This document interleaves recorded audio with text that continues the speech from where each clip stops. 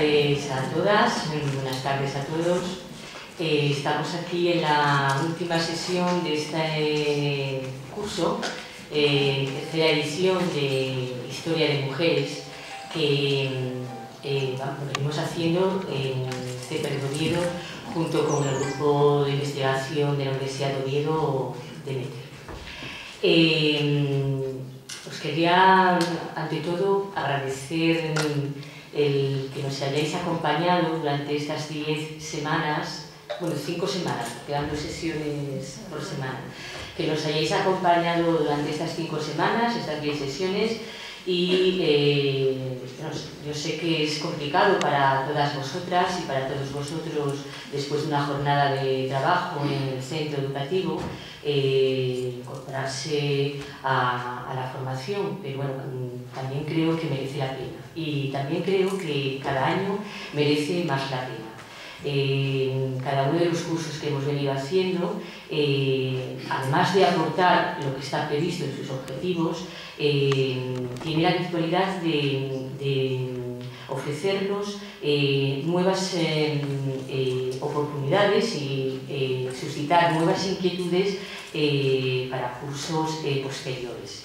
Yo quiero desde aquí eh, invitar al grupo de METER a que siga pensando en cómo facilitarnos un poco la tarea y facilitarnos también el, sentido a, a profesores y a profesoras que estamos impartiendo historia o otras asignaturas, no necesariamente historia, en nuestros centros.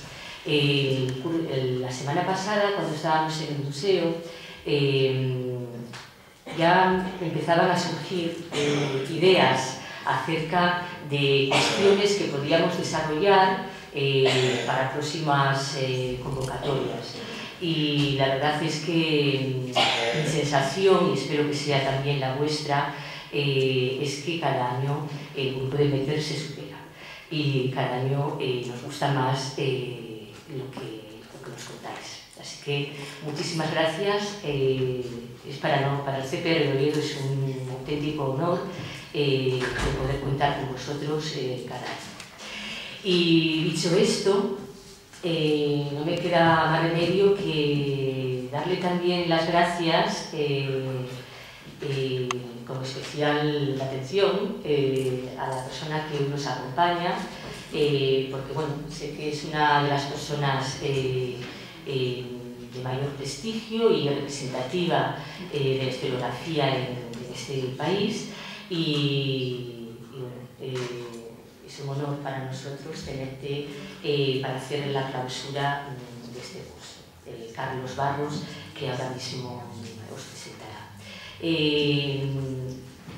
me acompañan en la mesa junto con Carlos Barros, eh, Carmen Suárez y Covadonga, que sabéis que bueno, Covadonga es la coordinadora del curso, ya lo sabéis, y Carmen es una de las eh, personas que participa eh, en el grupo de METER y que eh, tuvo mucho que ver con, con la posibilidad de que Carlos Barros estuviera esta tarde con nosotras y con nosotros. Así que les voy a dar la palabra y luego ya empezaremos a escuchar a, bueno, pues rápida, buenas tardes. Bienvenido Carlos y bienvenida Mariluz que te acompaña aquí en, la parte, en la parte técnica y que va a poder, se va a poder difundir esto que hoy hablamos aquí. Em, yo me siento como obligada a intervenir, bueno, obligada gustosamente, lógicamente no estoy aquí solo por, estoy por gusto, porque tanto Sonia como yo, a través de nuestra integración en el grupo de METER, Sonia García, que la conocéis, mm, conectamos hace unos cuantos años, 2010, con Carlos Barros, gracias a que Carlos Barros, gracias a que Rosa nos instó también, Rosa Cid, a que fuésemos al Congreso de Historia y Debate en Santiago de Compostela.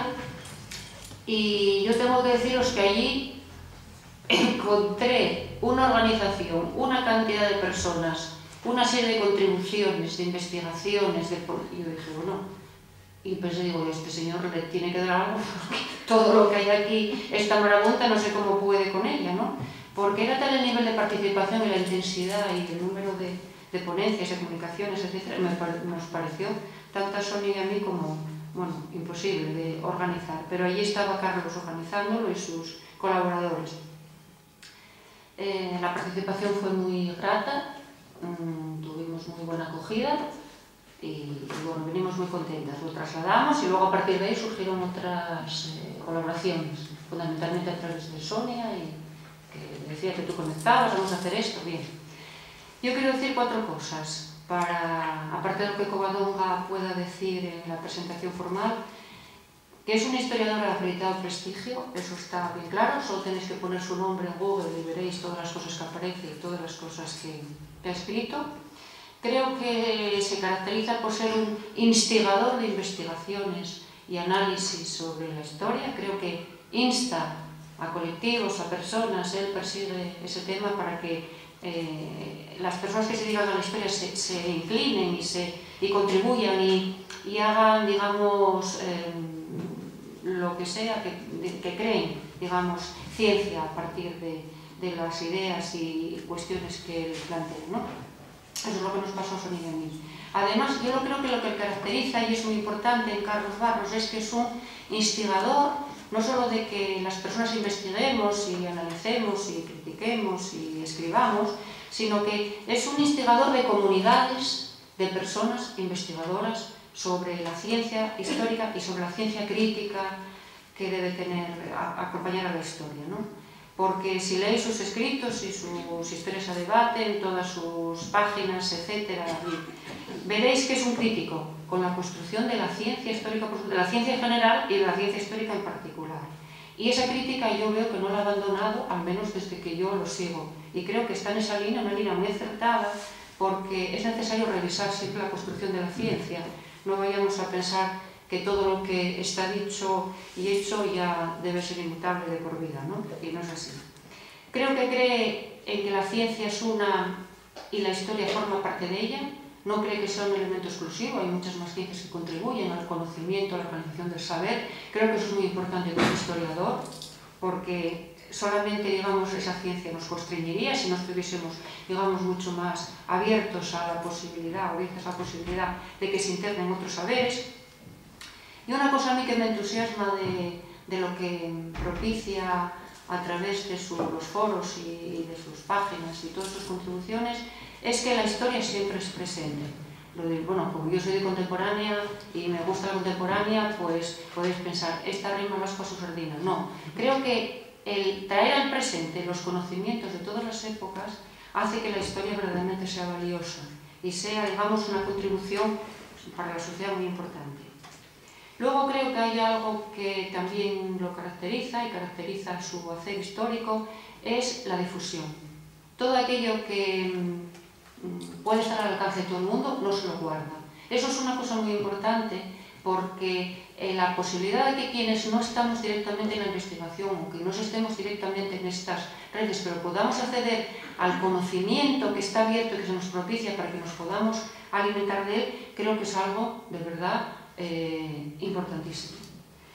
Y, y, todo ello lo consigue a través de, yo creo que un quehacer muy, muy importante, Creo que tienes colaboradores porque si lo haces tú solo ya me parecería una cosa eh, imposible.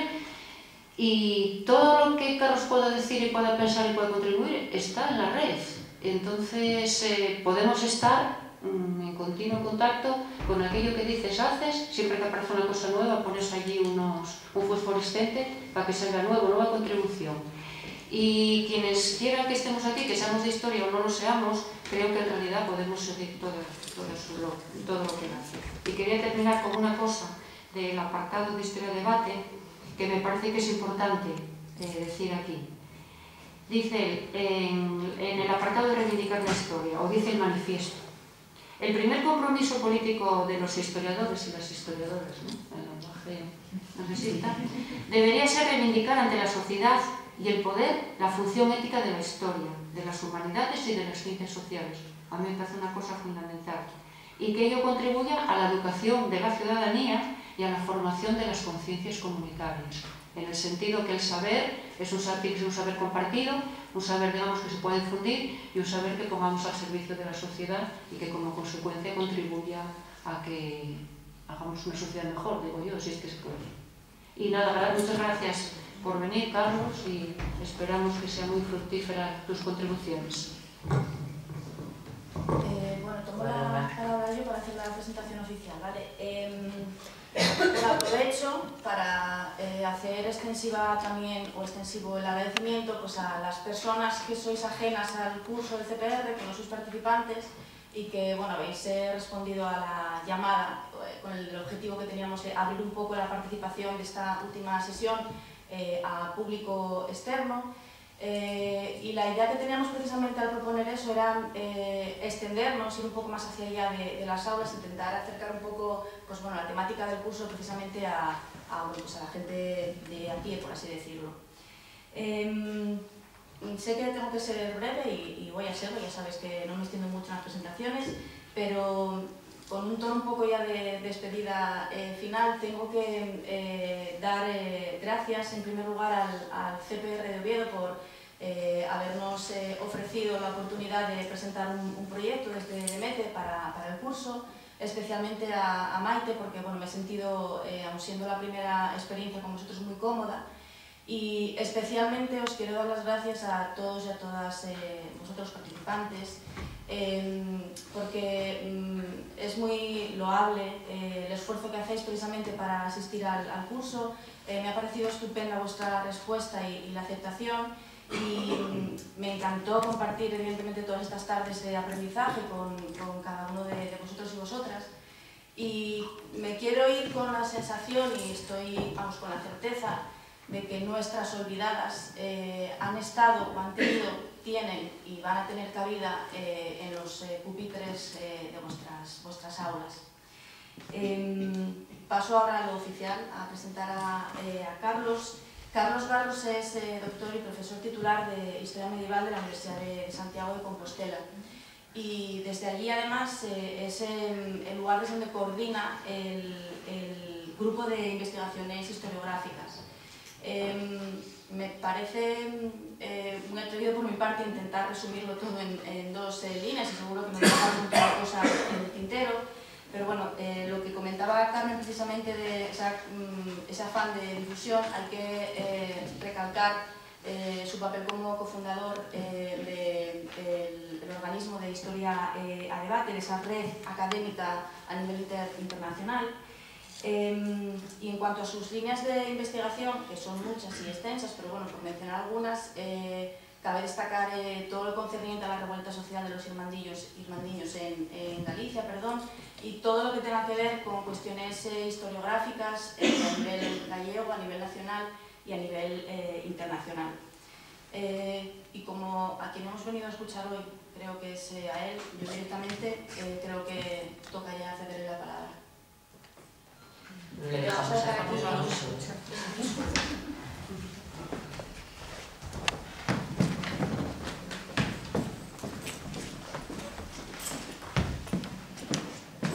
Buenas tardes. En fin, la presentación siempre me abruma, sobre todo a, a mí que me toca estar ahí, ¿no? Y aprende. Gracias, Carmen, por tus, no sé, por tus opiniones. No, no tenemos mucha, no hemos tenido mucha ocasión desde el último congreso más que por internet y, y gracias naturalmente también a, a Maite y a, y a Covadonga por, por, sus palabras. En fin, yo formalmente ya agradecer al grupo de MTR, eh, que, que, es donde ha surgido la, la idea que, que, nos trae hoy aquí, a vosotros y, y a mí, a Carmen, a Suárez, a Sonia García, eh, a Rosa Cid, etc. Y la, la, la, extraordinaria capacidad de organización y, y amabilidad de Maite Alonso y Covadonga Ibáñez del CPR de Oviedo, que, que, en fin, yo a veces eh, envidio ¿no? vuestra capacidad, porque nosotros muchas veces en la universidad pues, actuamos de una manera más en fin, sobre, sobre la marcha. También es cierto que estamos recibiendo invitados y yo estoy yendo a universidades muchas veces, pero me parece que, que habéis conseguido que uno se sienta muy a gusto en, en Oviedo, eh, donde decía, yo estuve en dos momentos, un, eh, un, eh, durante la época del franquismo, cuando nos dedicábamos a otras eh, tareas, se lo contaba a mi compañero eh, historiador Julio Vaquero, que está aquí también, y después hoy, ¿no? donde se ve un movimiento distinto. Yo también, la mirada es distinta, en aquellos años no nos fijábamos tanto en las cosas de ahora, pero efectivamente eh, Asturias ya es otra cosa y, y, y, por fortuna y Oviedo también lo que demuestra que, que avanzamos mucho en aquellos años. Lo que pasa es que han pasado ya 40 años y hoy esos impulsos de aquella época en parte eh, están bajo mínimos ¿eh? y están las fuerzas nuevas que intentan retomar aquella ilusión de, de, tener una sociedad mejor que teníamos nosotros, eh, incluyo en eso a Tinina, Vicente Álvarez que fue presidente de, vuestro principado que conocí en aquellas épocas. Pero en fin, esas palabras de nostalgia. Ahora vamos a lo de hoy, que es lo que, lo que cuentas. El, título, el título eh, eh, eh, yo en realidad lo, cambiaría alguna palabra, añadiría alguna palabra nueva. Debería decir el papel de las mujeres en la historia y en la historiografía. Entonces eso es lo primero que quiero dejar claro, es decir, se hace historia de las mujeres a partir del momento que, que hay movimiento feminista eso de que de un movimiento social salga una nueva línea de investigación, un nuevo enfoque historiográfico, no es excepcional. Ha, ha, pasado en la historia en, en repetidas ocasiones. La primera lectura científica de esa disciplina, el positivismo, tiene que ver con los nacionalismos eh, decimonónicos y en el siglo XX del movimiento obrero eh, surgió la, la, historia social. Eh, claro, ya más a finales del siglo XX, pues la historia de las mujeres y la historia ecológica nacen de sendos eh, movimientos eh, eh sociales característicos de, de los años 80 y 90, vamos, desde finales de los años 70. Por lo tanto, no se puede hablar de historiografía y menos de historiografía actual si no se habla de historia y de, y de, y historia actual o de historia reciente. Yo me voy a servir para ello de la periodización del movimiento feminista que, en fin, más, que está más extendida y, y, en mi opinión es la más clara, eh, que, que, sirve para un ámbito internacional, pero también para, para el objeto de esta conferencia, que es más bien eh, una, eh, España en un ámbito, en un ámbito internacional. ¿no? Pero claro, naturalmente estamos aquí en, en Oviedo, en Asturias, eh, en España y no debemos olvidar que nuestro referente más inmediato pues, es la historia del movimiento feminista en España, es la escritura de la historia desde el punto de vista feminista en, en, España. Entonces esta periodización va por olas, la primera, la segunda, la tercera ola. Se considera que la primera ola en el siglo XIX, más bien a finales, es, eh, la conocemos por todo como movimiento sufragista, la lucha de la mujer por el voto y por el derecho a la educación, la segunda ola en el siglo XX, los años 60, 70, eh, en España más los años 70, donde se luchaba por la, eh, donde se empezó a luchar por la emancipación de la mujer en un contexto de lucha por las libertades democráticas. La tercera ola la estamos viviendo desde, desde mediados de los años 90 y ahora con mucha más fuerza en el siglo XXI es lo que se llama los nuevos feminismos en un contexto de crisis de la democracia representativa. En los años 70-80, pues hablar nosotros, pues eso es una... Hoy en día es hacer un balance agridulce, desde hoy, ¿no? Eh, ha sido, fueron unos años eh, eh, que siguieron a la transición de grandes victorias para las reivindicaciones de la mujer de algunos problemas y, visto desde hoy, claro, hay que añadir eh, la conciencia de nuevas dificultades para la mujer y no solo para la mujer, en general para el ciudadano, en la transición del siglo XX al siglo XXI. Eh, siguiendo con la segunda ola, eh, decir que antes y después de la transición, las pioneras del movimiento feminista buscaron la alianza para la defensa de sus reivindicaciones en sindicatos y partidos, partidos de izquierda naturalmente, primero el PC y después el PSOE a partir principalmente del año 1982. Esa alianza y ese, ese contexto de salida de la dictadura supuso un enorme avance en X. yo estaba repasando todo esto y, en fin, podemos, podéis sentiros orgullosas, algunas están aquí de, aquella época, porque se consiguió la igualdad legal entre hombre y mujer, en fin, reivindicaciones hoy en día inimaginables para chicas que nacieron posteriormente, pero la mujer no tenía un estatus legal equiparado al hombre, es una cosa tremenda, necesita el permiso del marido, del padre, para, muchas cosas, es, es inconcebible, pero bueno, eh, eso es eh, eh, lo que, esos son los problemas que hubo que resolver en la época del franquismo. Igualdad legal, legalización de anticonceptivos en 1979, políticas de planificación familiar, divorcio en 1981, derecho al aborto en 1985. Bueno, en las circunstancias de aquella época fue un avance tremendamente importante. Ya eh, eh, a partir de 1982, concretamente en 1983, se crea el, Instituto de la Mujer, pues los avances son políticos e institucionales, esta idea de tener eh, eh, órganos administrativos e institucionales encargados de, de, de, del, del tema de la mujer, es decir, de, la lucha por los derechos de la mujer, se replicó en todas las instituciones locales, en fin, autonómicas, eh, pues eh, concejalías, eh, consejerías, pues de alguna manera había un ministerio que se encargaba también de, de, estas, de estas cosas. Todo esto forma parte de las grandes victorias de esos años. en la universidad pues, se crearon institutos de investigación de historia de la mujer, proyectos de investigación, cursos de doctorado de historia de la mujer, un avance también tremendamente importante si comparamos eh, la situación anterior de, dictadura. La dictadura fue eh, una expresión violenta de, del, andro, del androcentrismo y del patriarcalismo, entre otras muchas cosas. ¿no? ¿Eh? Decir, no lo olvidemos.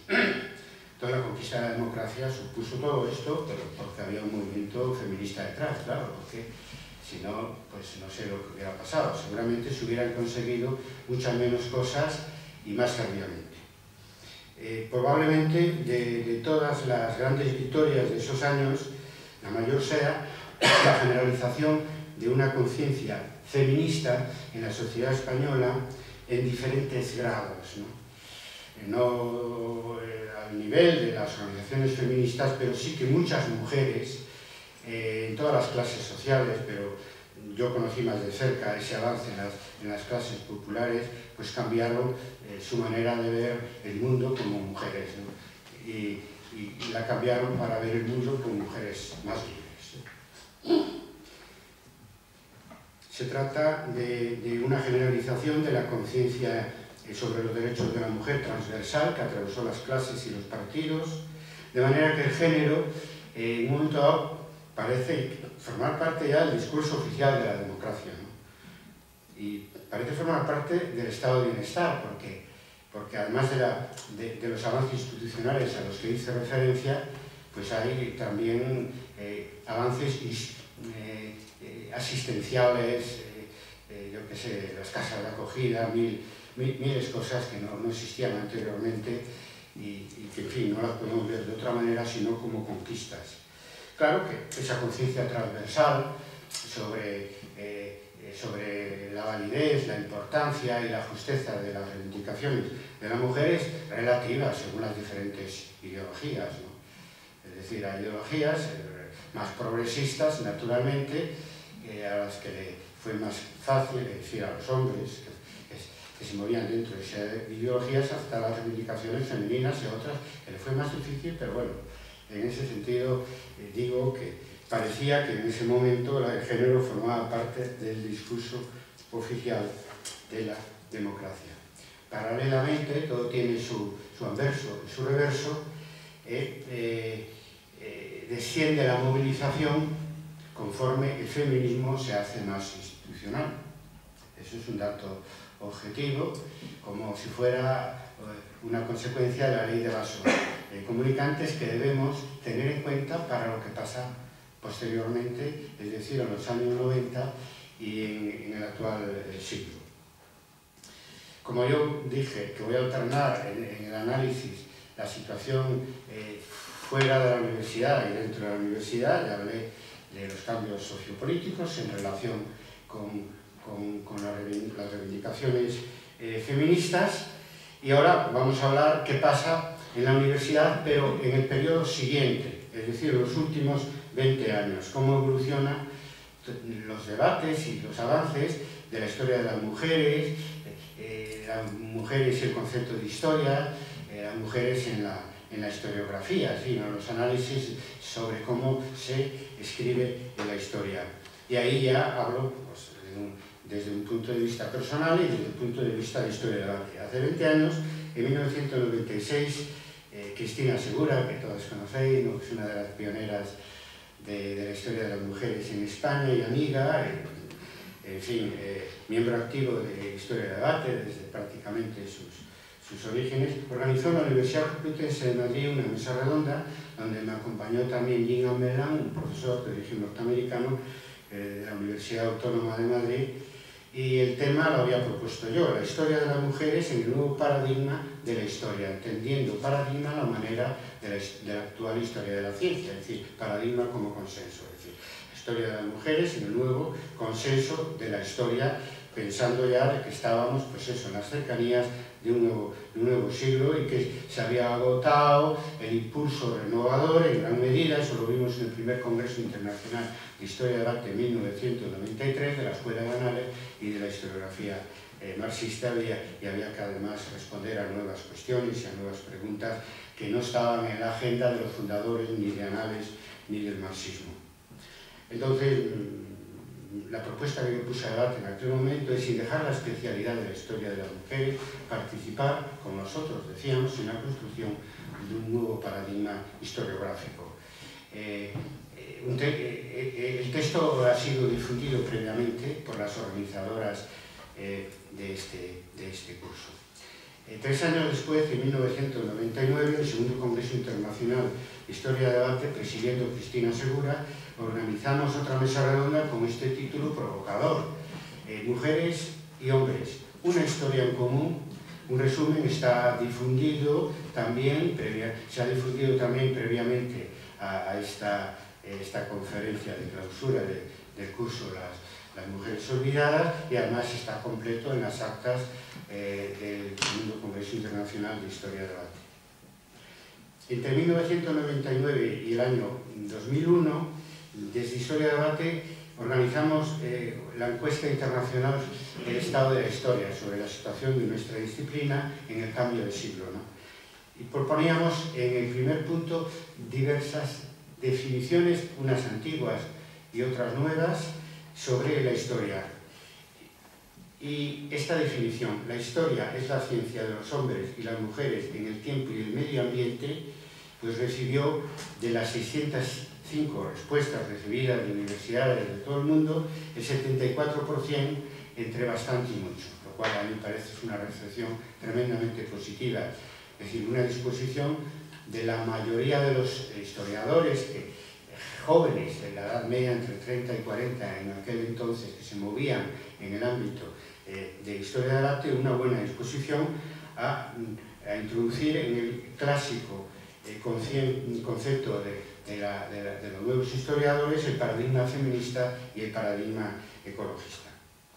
Entre el año 2002 y 2005 yo di varias conferencias en universidades de España y fuera de España con un título más o menos, en todas ellas parecido a lo siguiente, el nuevo concepto de la historia como ciencia.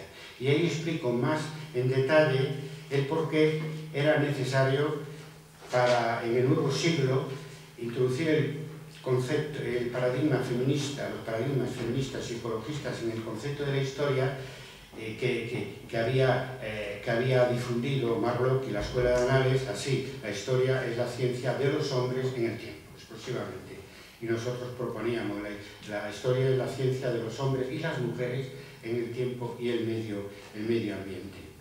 Bien, pues eh, esto lo tenéis eh, en, en, como un vídeo en el canal de Historia Debate en, en YouTube. Mi balance de esta propuesta de que el movimiento feminista pasase de una especialidad a formar parte importante, yo diría parte central en, en, la nueva, el nuevo concepto de la historia en el siglo XXI, mi, mi, mi, mi balance fue positivo, la recepción fue buena en general, pero no tanto en las historiadoras más feministas, o sea, que eran mis amigas, eran mis amigas, eran las que estábamos en esa, en esa batalla. Había como cierta resistencia, o bien se decía que sí, está bien, pero no se hacía nada en esa dirección. Y estábamos algunos historiadores, hombres feministas, intentando, y seguimos intentando, avanzar en esa dirección, pero no encontrábamos la, la suficiente, eh, el suficiente apoyo entre, entre las propias o seis historiadoras feministas, por lo menos alguna de ellas, y nos parecía, a mí siempre me pareció una gran paradoja, pero que responde a una dificultad objetiva. En el tercer congreso, en 2004, y en el cuarto congreso, en 2010, que fue donde estuvo presente Carmen Suárez y Sonia García, eh, como, como, ya explicó ella en la presentación de esta conferencia, tuvimos, y, Carmen lo, recordará, y, y, Rosa también, tuvimos mucha dificultad, yo tuve mucha dificultad para conseguir mm, eh, ponencias que trataran con una óptica de género los temas generales historiográficos que estábamos discutiendo sobre cómo se iba a escribir la historia en el siglo XXI. Por lo tanto, mm, desde los años 70 y 80 eh, existe un gran desfase entre la asunción general por parte de la sociedad, la política, incluso la cultura de las reivindicaciones feministas y una escritura general de la historia, incluso una enseñanza general de la historia que ha continuado en gran medida siendo patriarcal y androcéntrica. Y ese es el problema que quiero plantear yo eh, aquí, en el año 2015.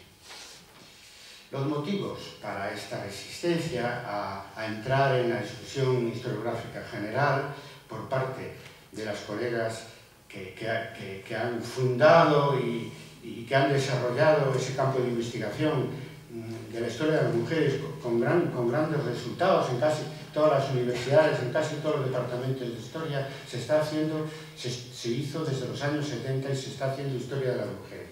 Pero ¿qué, qué pasa?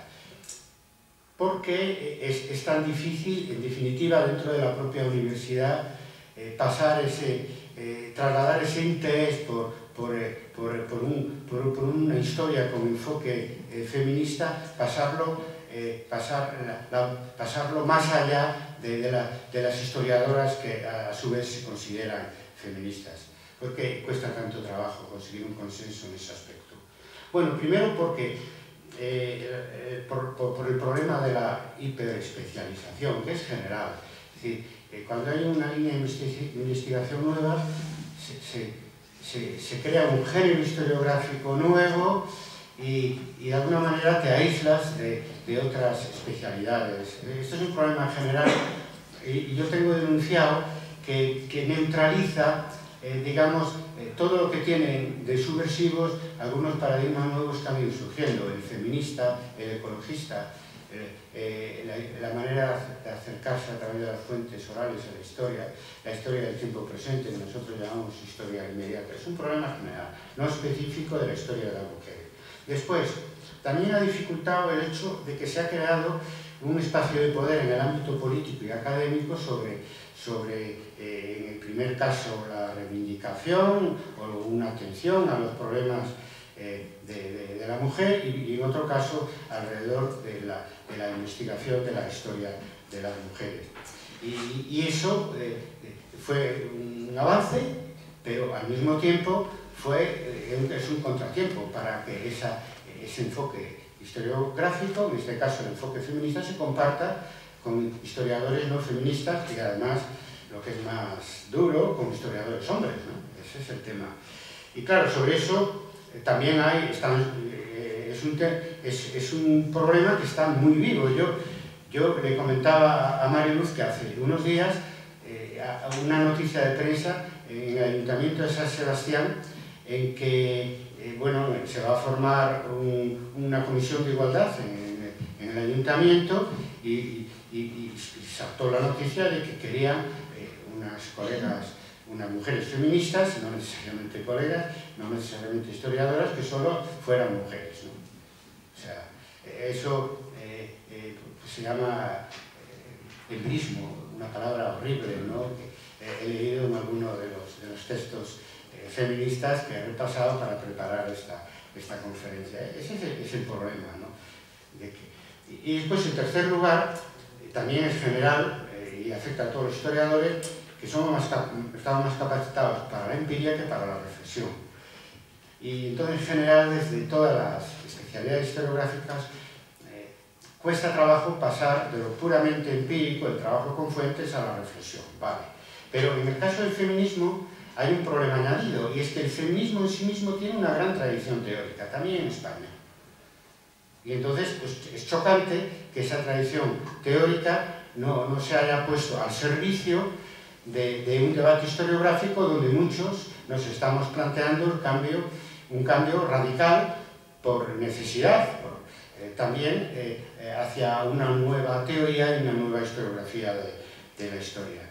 En fin, yo pienso que la tercera ola del feminismo que estamos viviendo es una nueva oportunidad para animar y presionar a, a hombres, eh, historiadores, eh, a que a, también apliquen el enfoque de género eh, independientemente de que cultiven o no la historia de las mujeres cuando el tema sea pertinente. Hay temas históricos donde no, no, no, no, se, puede, no se pueden estudiar eh, científica y, seriamente si no se aplica un enfoque de género por, por el papel que, que juega la mujer en esos, en esos acontecimientos. Yo lo digo como experiencia mía de investigador, que a veces me encuentro, por, por ejemplo, eh, yo que sé dos casos voy a poner, soy medievalista, ¿no? Pues uno que estudiando la, las revueltas eh, eh, medievales en las que muere el Señor, en las que matan al Señor los, los, rebeldes, pues dejé, hice un análisis aparte en un caso de que la señora es una mujer, Teresa de Zúñiga, la condesa de Santa Marta, y la, masa, la matan en 1970 y, y 70 sus vasallos en Rivadavia después de la revuelta irlandina.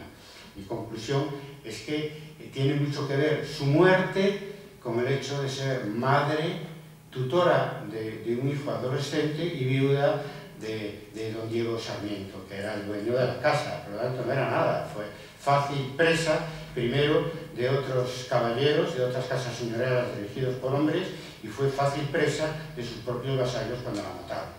Entre otras cosas porque es muy difícil matar a un caballero, ¿eh? y es mucho más fácil matar a unha mujer, neste caso, además, indefensa. Supongo que tenía algún apoio militar, pero non debió ser suficiente. O cuando estudié derecho, de Panada, ya no, ya no digo más. Ahí, eh, el, el, eh, no se puede hacer eh, esa investigación sin un enfoque de género. Y eso pasa en la historia muchas veces. Hay hechos que no se pueden investigar bien si no se aplica una óptica de género.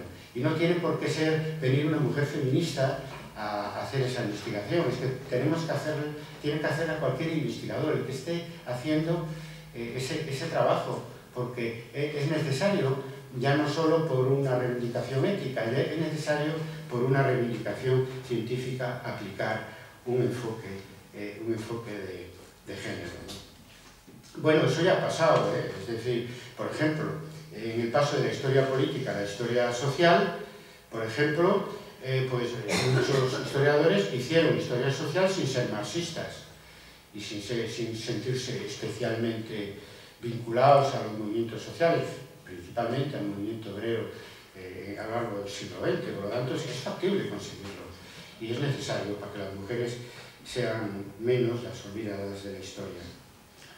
Hace poco, en la gala de la entrega de los Óscares en 2015, la, Patricia, Patric, la actriz Patricia Arquette eh, dijo, ¿no? esto que tienen los, los, los artistas y el mundo de, del cine, también en España, aprovechar la entrega de, de de premios para decir algo que consideran social o políticamente importante.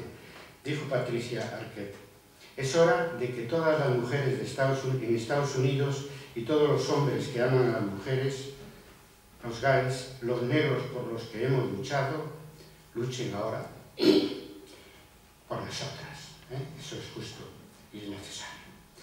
Y eso tiene que ser un apoyo mutuo, tiene que responder a un apoyo mutuo entre la mujer que todavía está discriminada y, y, y el hombre que es sensible eh, a, a, las reivindicaciones de la mujer, pues como, como hijo, como marido, como padre y también como historiador y como científico social, porque hay que hacer la historia y la ciencia desde una ética determinada y dentro de esa ética determinada eh, el enfoque de género es imprescindible, es de aplicación, no el único, pero es de aplicación imprescindible. ¿no? Claro, para conseguir ese apoyo mutuo y ese clima de confianza entre hombres y mujeres en una lucha común por la, por la emancipación de las mujeres, tal como se tiene que plantear hoy en día, para el hombre eh, es necesario la renuncia a privilegios en el ámbito público y en el ámbito privado, como bien sabemos. Y eso no es fácil. A veces digo yo, a lo mejor es más difícil en el ámbito privado o no, porque hay mucha resistencia en el ámbito público, yo que sé, por ejemplo, a la igualdad salarial entre, entre el hombre y la mujer. Hay mucha resistencia. Y también el ámbito público es en el que eh, todos vivimos y que a veces en que todos lo sufrimos, sobre todo vosotros a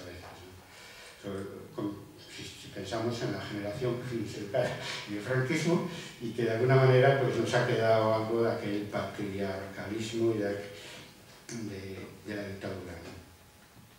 Por lo tanto, proponemos en el ámbito de la historia y la historiografía un paradigma común de la historia donde la mujer juegue un papel importante.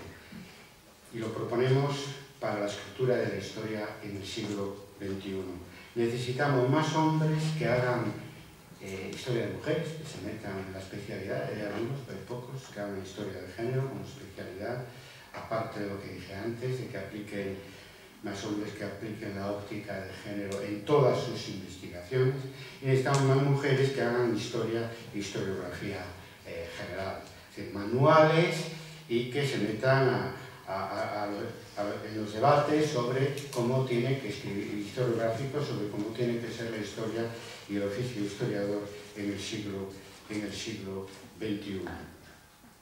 Bueno, decíamos la tercera ola, volvemos por lo tanto de la, de la, de la historiografía a la historia, de la academia a la sociedad. El inicio fue en los años 90, el despliegue está teniendo lugar en, en, en este siglo, en, en la segunda década, y no ha llegado a su a su máxima expresión. Me refiero a los nuevos feministas, feminismos. Esto, esto se inició en, en 1991 por poner un punto de arranque convencional en la declaración de Anita Hill. Sabéis, Anita Hill denunció por acoso sexual a un juez en Estados Unidos, un caso muy importante a principios de los años 90, no solo en Estados Unidos, sino también internacionalmente. Y ella dijo, no soy posfeminista, soy tercera ola. Esto de de los post está vinculado al posmodernismo, ¿no? A, a, y el posmodernismo, entre otras cosas positivas, pero entre otras cosas eh, negativas, es una teoría de la decepción, ¿no? del descompromiso. Y ella decía esa, no soy posfeminista, soy tercera ola. Esta tercera ola pronto se encontró con un contexto difícil yo no diría tan difícil como eh, en, la primer, segunda ola aquí, en la época de las dictaduras, pero de otra manera también muy difícil. La globalización neoliberal, el, el descenso eh, y la desvalorización del, del poder público, la crisis del año 2008, las políticas de austeridad que supusieron todo esto junto una mengua de la condición social de la mujer. Eh, las mujeres hoy están peor que antes de la crisis, están más afectadas por el paro, más afectadas por las diferencias salariales, más afectadas por los desahucios, pensar en los niños. Universalmente estamos viviendo un proceso de feminización de la pobreza. Hay más espacios y situaciones de subhumanización en el mundo laboral, en la casa, también porque han bajado por razones diversas, pero que tienen que ver con la crisis, eh, muchas de ellas, el número de divorcios, el número de abortos, sobre todo hay más violencia de género. Y no es solo por lo que se dice que antes había igual y no se decía. No, no, ahora se sabe lo que hay y hay más. ¿eh? Y hay más. A eso hay que sumar que en España y en otros países eh, pues tenemos una democracia de peor calidad desde el año 2010 como consecuencia de la crisis y de los gobiernos que tuvimos a partir de ese año fatídico. El feminismo institucional también, pues claro, tuvo menos recursos y está un poco de capa caída pues por la austeridad y, y bueno, lo voy a decir de otra manera, y, y, desde que el Partido Popular gobierna eh, en toda España en, la mayor parte de las autonomías y en la mayor parte de los, de los ayuntamientos, me refiero a, los cuatro últimos años, porque de todos los partidos del sistema político español es eh, en fin, aunque han hecho esfuerzos, es menos sensible a las reivindicaciones feministas, en mi opinión, que están vinculadas a una idea de progreso, no a una idea de conservación. Total, que hoy los logros de los años 70 y 80 están en cuestión, son reversibles. No lo podíamos creer, pero son reversibles. Lo demostró la, la, el proyecto de ley de aborto del ministro Gallardón, eh, en un retroceso de décadas. Eh, ¿verdad? En un tema tan importante como el aborto, sobre todo para las mujeres jóvenes. ¿no? Entonces hemos pasado unos años de lucha, 2012-2014, que terminó en una gran victoria, ¿no? Eh, no solo porque ese proyecto no fue adelante, sino porque se consiguió, conseguimos eh, la admisión del ministro Gallardón. Todo esto se, ganó, se, consiguió convergiendo los viejos y nuevos feminismos desde Internet. Las mujeres y jóvenes están tomando el relevo eh, del, movimiento, feminismo, pero es un relevo muy difícil por, por todo lo que... Vivimos una marcha atrás, una marcha atrás en los derechos de la mujer y, y al mismo tiempo se están viviendo unos horribles, unas horribles relaciones patriarcales favorecidas por la crisis de la democracia. Lo primero, la violencia de género y los feminicidios. ¿no? Feminicidio es un fenómeno universal. La violencia de género también, pero está especialmente grave en España, como ya sabemos. El problema más grave que tiene el feminismo hoy en día y que tenemos, o debería ser el problema más grave que tenemos todos los demócratas eh, eh, en, este, en este país, pero como problema del feminismo eh, es más grave que, que el hecho de que, de que estén en este momento aplazados los grandes objetivos de la igualdad sal, salarial y la democracia paritaria. Lo cual, por cierto, eh, avanzó más en el mundo de la política que en el mundo de la universidad. No, no insisto, porque eso es ampliamente conocido, sobre todo entre, entre los colegas. Y después la otra reacción patriarcal, que tiene que ver con la anterior, pero se da en otra dimensión, es el neomachismo un neomachismo con pretensiones intelectuales. Yo conozco varios casos, porque se da también en la universidad, tiene que ver con la situación personal de, de los que, de los que eh, han creado o han fomentado o apoyan este, esta reacción eh, visceral contra el movimiento eh, feminista.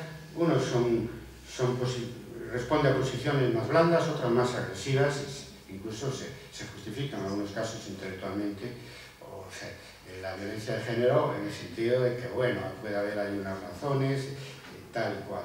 En general, los argumentos del neomachismo son muy pobres intelectualmente, pero no, deja de, no dejamos de lamentar que se den justamente en un medio, incluso a veces en un medio universitario, donde es, esas, ideas racionarias tendrían que estar ya, eh, en fin, fuera fuera, fuera de la agenda. Total, nuevos problemas que retroalimentan estos nuevos feminismos y también le dan un nuevo impulso.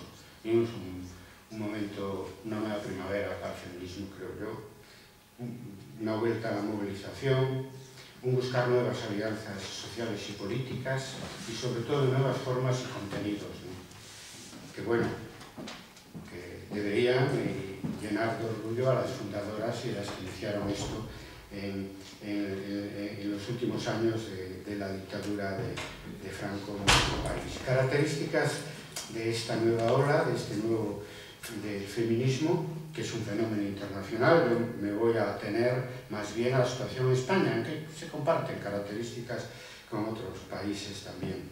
Por ejemplo, lo primero que es una nueva generación, es decir, se trata de chicas nacidas entre los años 80 y 90, de momento bloqueadas en sus proyectos vitales por la crisis y, y, y, por, y, por, por el retroceso de los derechos de la mujer, pero eso está sirviendo de acicate.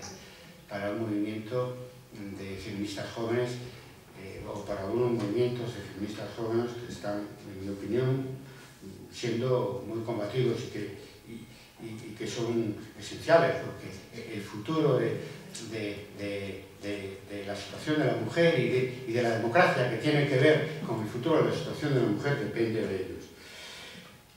Esta nueva generación también tiene como rasgo el uso masivo de las nuevas tecnologías de la comunicación, como todos los movimientos sociales que han surgido eh, pues a partir de la revuelta de Chiapas, su valor simbólico en 1994.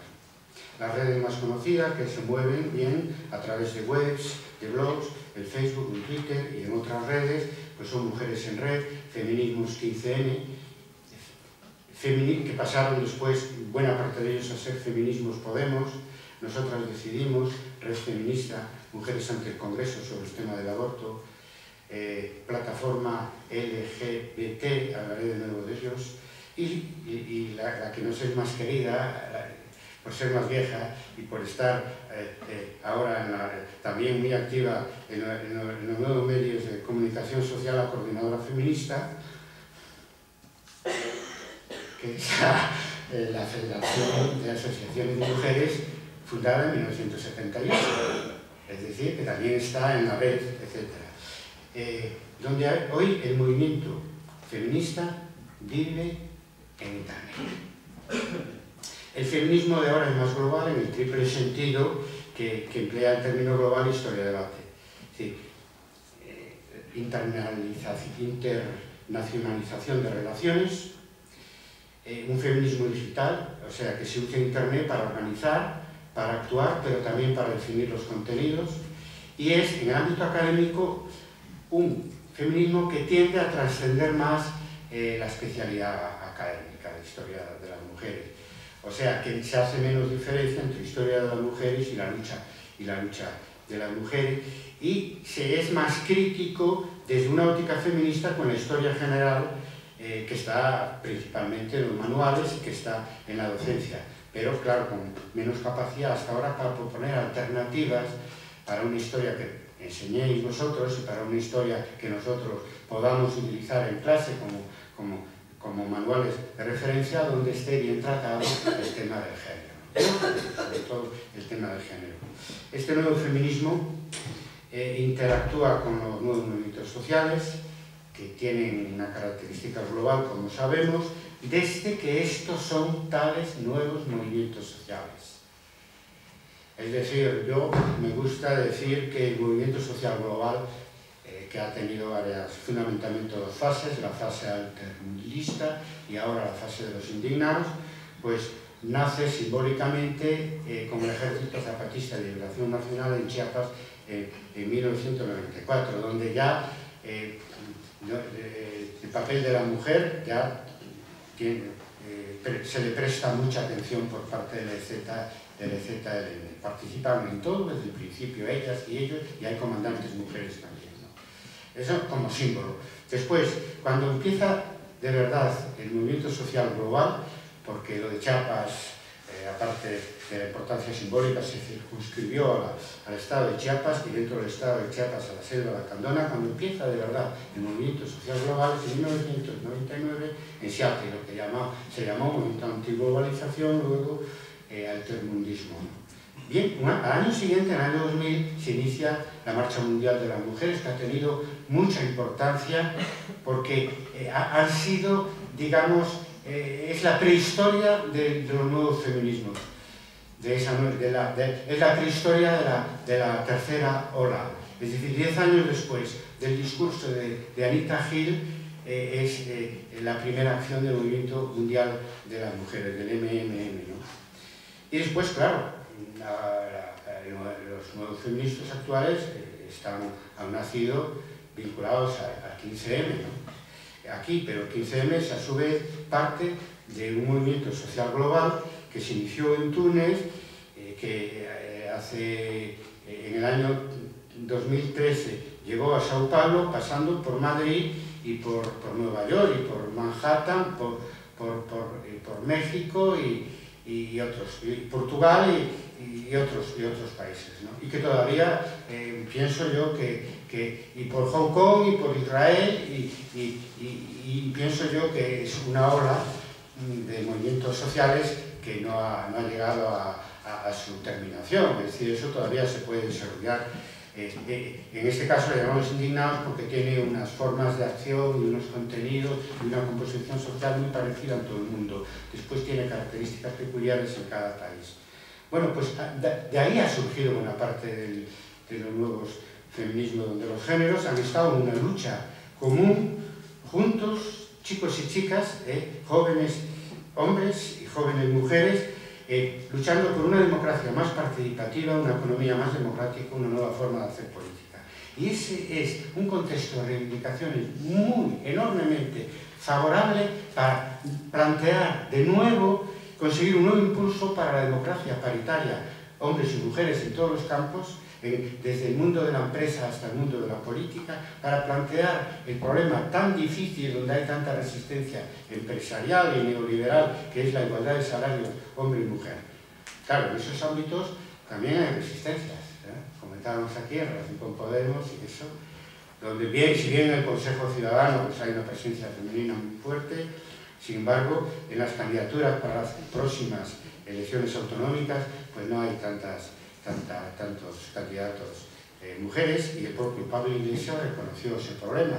Lo tienen que resolver también entre los jóvenes. Naturalmente, el tema de género entre los jóvenes hombres, pues lo sabéis, los que sois profesores, los que somos profesores lo sabemos. Hay actitudes diferentes, aunque muy distinto, claro, la situación muy distinta de nuestra época, donde lo que había únicamente, únicamente era machismo por todos lados, ¿no? Y, y, ahora no, ahora puede haber incluso debates y, y, y no todos los jóvenes eh, eh, entienden la óptica de género también, ¿no? pero de todas maneras es un contexto muy distinto que el que tenía la, la primera generación que empezó a plantear estos temas en España. Por lo tanto, el nuevo feminismo es más igualitario, menos esencialista, más plural, ya no se dice feminismo, aunque yo sigo empleando el término por, comodidad, y como a veces eh, pues digo hombres y, mujeres, a veces se me escapan, ¿no? Cosa que, por ejemplo, los sindicatos lo dicen siempre, ¿no? Ningún dirigente sindical eh, empieza un discurso sin decir compañeros y compañeras, pero claro, con mucha atención, que eso además tiene que seguir, eh, tiene que estar seguido de, de algo más que un uso diferente de las palabras. Bien, pues eh, decía que, siguiendo con las palabras, Goya no se dice feminismo, se dice feminismos, feminismos, terminando en ese, plural. La pluralidad va en dos direcciones. Y el, el, el estudio de, de, la mujer ha evolucionado desde del estudio de las mujeres al estudio del género, que no es lo mismo. ¿no? Eh, es, eh, el estudio del género se tiene en cuenta las concepciones que tenemos sobre el papel eh, de los dos eh, géneros, de los dos sexos, que, que, es un constructo, es una construcción social, no se nace así, ¿no? Es decir, los niños no nacen para uno para jugar con, con, pistolas y el otro para jugar con muñecas, sino que es algo aprendido. Entonces, introducir este, este aspecto, que en realidad es un aspecto de mentalidades, pues fue un cambio importante cuando se pasó de la historia de las mujeres a la historia del género. Y ahora además como se sabe que hay un género masculino y un género femenino, se ha pasado, por lo menos en Estados Unidos, a la historia de la masculinidad. Pero el salto mayor es pasar a la historia de lo que se llama, es el nombre de la plataforma en este momento, probablemente con más capacidad de convocatoria, en ese, en ese, campo eh, eh, nuevo que es el LGBT, es decir, eh, lesbianas, eh, gays, bisexuales y transexuales, lo cual lo trastoca todo, porque hay varias formas de ser mujer eh, y además porque también hay que investigar, la homosexualidad y la transexualidad en la historia, cosas que se está empezando a hacer con cierta fuerza ya en Estados Unidos. Por lo tanto, como veis, se va a una pluralidad de enfoque a la hora de hacer historia de la mujer y a la hora de hacer feminismo en historiografía. Y la, y la, otra, la otra dirección de, de, por la que se gana más pluralidad en el estudio de, la, de eh, los estudios eh, eh de, la mujer, eh, eh, en, en, correspondencia con, con, con feminismos siempre eh, sociales, siempre estamos viendo que existe cierto paralelismo y cierta relación entre el movimiento social y, y el movimiento académico. ¿no? Entonces, da para muchas nuevas investigaciones también tener en cuenta a los, a los feminismos temáticos mixtos, a los feminismos mixtos. Por ejemplo, el ecofeminismo, eh, fundamental en mi opinión por lo que dije anteriormente de que hay que introducir a la vez el paradigma feminista y ecologista en, el, en, eh, eh, en la manera de escribir la historia en el siglo XXI.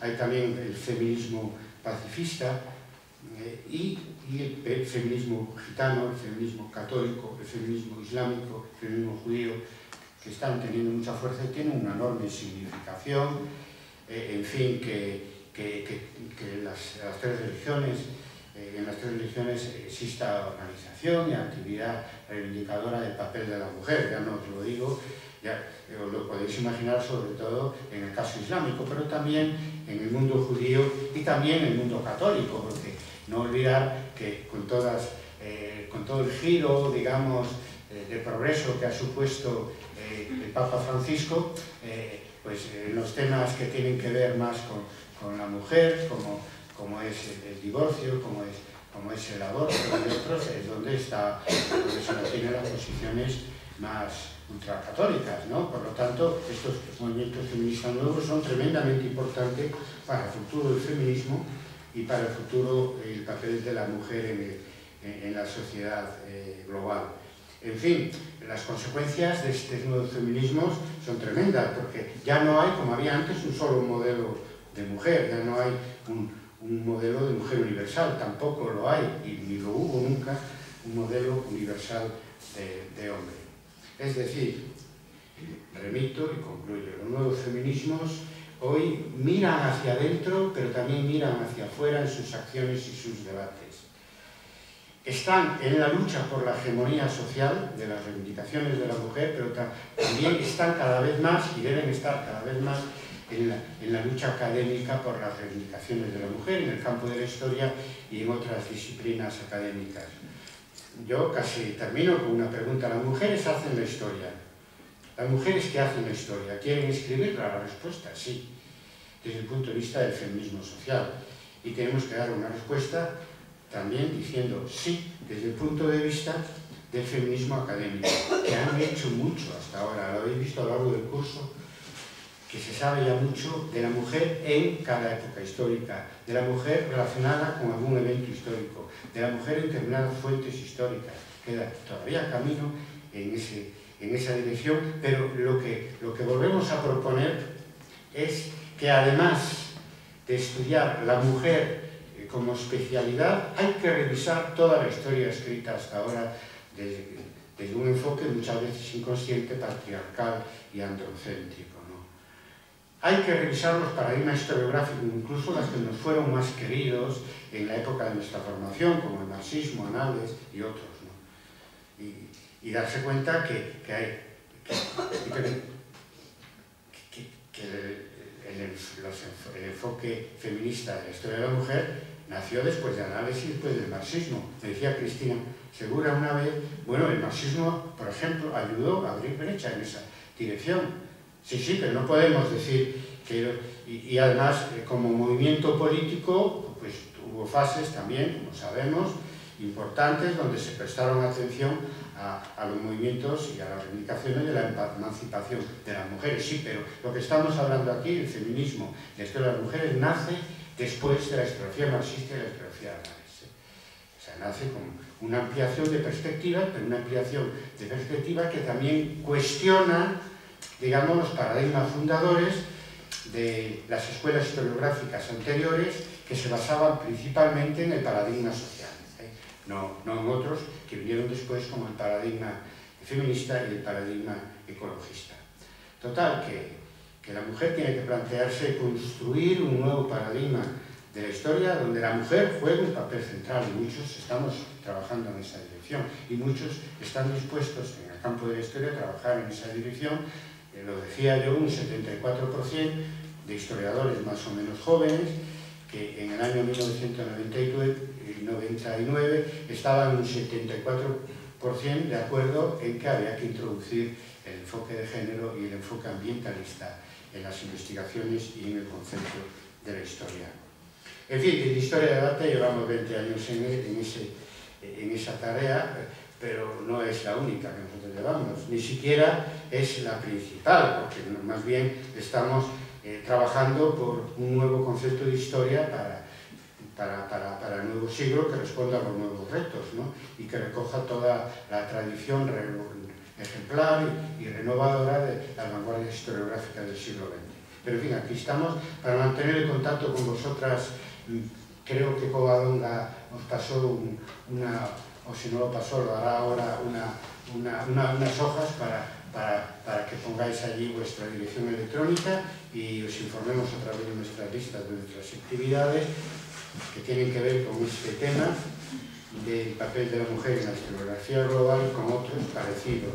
Hoy es más necesario que nunca reintroducir introducir a la mujer en el paradigma de, de la historia porque vivimos un, una vuelta del positivismo que, que se detecta en vosotras seguro que también y, vosotros, y vosotros los que estáis aquí eh, lo habéis, os habéis fijado en ellos, ahora ha vuelto la historia, no solo, no solo a través de televisión española, ha vuelto la historia de las grandes figuras y, y bueno, eh, eh, se propone dentro de esas grandes figuras algunas mujeres, eh, claro que hubo grandes mujeres en la historia, ¿no?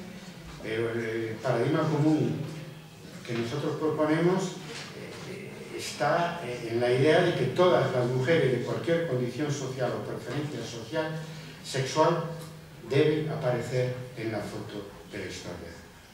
En eso estamos y necesitamos también que los profesores de enseñanza media nos echéis una mano. Debiera ser incluso más fácil enseñanza media eh, aplicar un, un, un, enfoque de género en la enseñanza de la historia, porque tenéis una mayor tradición de transversalidad, porque tenéis un contacto mayor a través de vuestros alumnos con la sociedad que nosotros en la universidad, porque sabéis más de la educación en valores que nosotros en la universidad y hay que recordar que que la reivindicación de la mujer en la, en la, historia y en la sociedad es un problema de valores, no es de competencia, no es una habilidad técnica que se adquiere eh, como para ser un buen mecánico o para, o, para, o para manejarse bien con un ordenador. No, eso es un valor, que es otra cosa muy distinta y es así como hay que defenderlo y aplicarlo a la investigación y a la enseñanza dentro de lo que nosotros llamamos una historiografía de valores y, y, dentro de lo que en didáctica, en pedagogía se llama desde hace mucho tiempo la educación en valores. Y además tenéis práctica. En la universidad el profesor tiene mucha más libertad para